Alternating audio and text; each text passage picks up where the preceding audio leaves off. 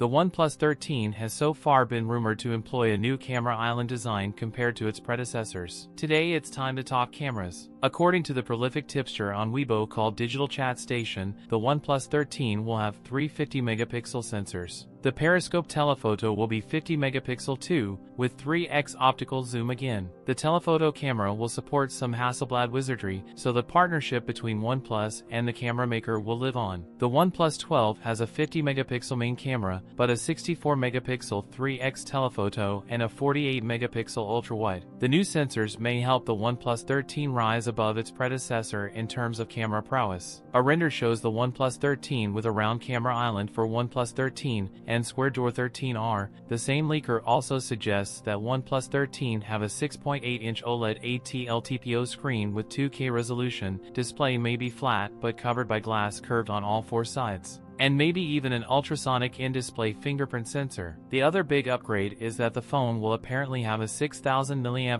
battery, an increase over the 5400 mAh battery inside the OnePlus 12, and pairs it with 100W wired charging. The OnePlus 13 is rumored to be among the first devices to sport the upcoming Snapdragon 8 Gen 4 SoC, which is due to be released in October. We can expect to see the OnePlus 13 released somewhere in November or December 2024 for the China launch, before welcoming it to the global stage in January 2025. That's it for today's video. If you enjoyed it, don't forget to like, comment, and subscribe for more content. Thanks for watching, and I'll see you in the next one.